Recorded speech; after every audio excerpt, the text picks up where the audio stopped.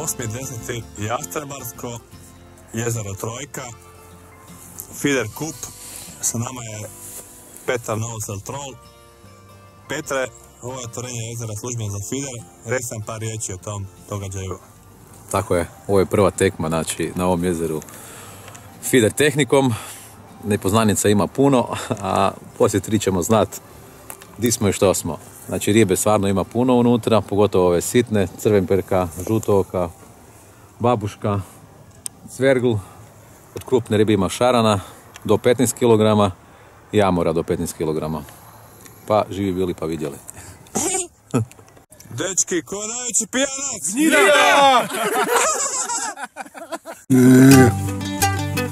Imamo neki čudan e, dip iz Makedonije.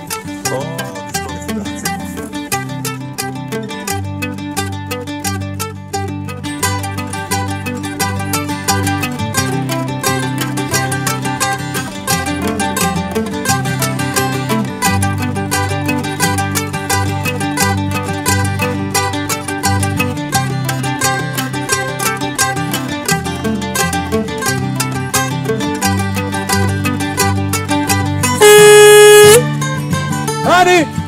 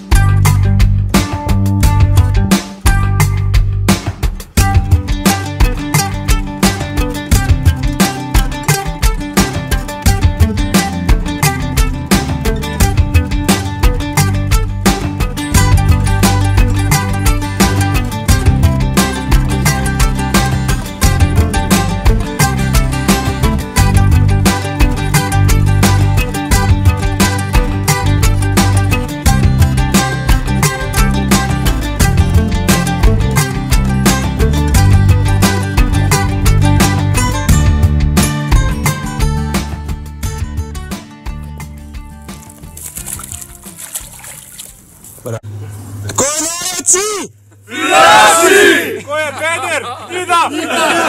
najveći? Samo juhu, da ima i cvergla unutra već. Još. Dobro, dobro.